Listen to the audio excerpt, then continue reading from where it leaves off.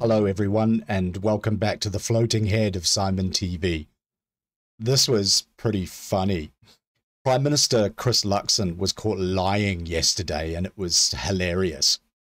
He was in town to film a propaganda video, crowing about how he and his incompetent Minister of Police, Mark Mitchell, are tackling crime in central Auckland.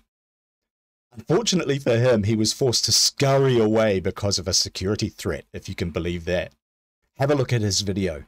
If you've been in the Auckland CBD in recent years, you've probably felt unsafe because thugs have been running rampant and crime has been rife. Well, it was so good today to walk around the CBD chatting with store workers and security guards and locals who told me they're feeling safer because of what our government did a month ago. On the 1st of July, we deployed new cops here to keep the place safe and it has already started to make a difference with folks saying that they're noticing a much stronger police presence. Now this is all early stages and I get it, but this is really good news and our crackdown on crime and our plan to restore law and order in New Zealand. This is all lies. There are no foot patrols in central Auckland.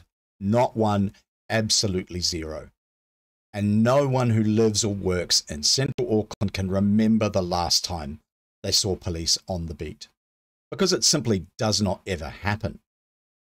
Luxon showed up with his own police escort to film this ludicrous propaganda, and all the police, every single one of them, left with him after they'd finished filming. But even with his very own personal police escort, central Auckland wasn't safe for our Prime Minister. This next clip was taken from his laughable press conference about community safety a few minutes earlier.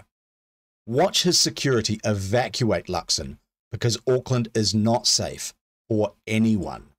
Uh, today was important because um, Police Commissioner and Police announced uh, at the end of last month that they would put more cops on the beat in Auckland, Wellington, and Christchurch.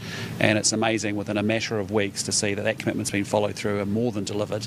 Uh, and the results that we've seen engaging with retailers today, but also talking to the police themselves, uh, it's making a difference. And what we're here to do is to make sure that we have more police out and about on the beat, but importantly that we are restoring law and order in New Zealand and that people are feeling safer in their homes, their businesses, and their communities. And so uh, it's been really good and I want to thank the Commissioner and the police for uh, their efforts in actually making sure that this actually comes to life and is actually happening for real on the ground and it's been making a fantastic difference. So thank you very much, Commissioner Costa. Families as well. Okay, thanks guys, appreciate it. How about that? The Prime Minister of this country scurrying away like the pathetic little Oompa Loompa that he is. Have another look. Families as well. Okay, thanks, guys. Appreciate it. We need to leave right now, says the diplomatic security officer. Well, that's not an option for those of us who live and work here and have to put up with all the crime that is making our city unlivable. Unlike Cindy Boy, Aucklanders don't have close quarters security to protect us. We don't even have police foot patrols to protect our community. Prime Minister Chris Luxon is a buffoon, and so is his incompetent Police Minister Mark Mitchell.